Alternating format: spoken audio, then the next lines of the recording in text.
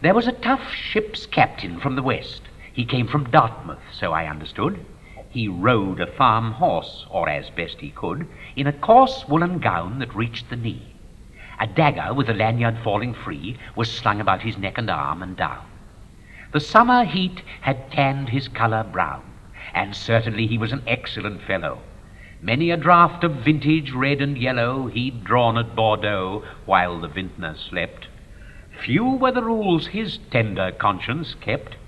If, when he fought, the enemy vessel sank, he sent his prisoners home, they walked the plank. As to his skill in reckoning the tides, currents, and many another risk besides, moons, harbours, pilots, he had such dispatch that none from Hull to Carthage was his match.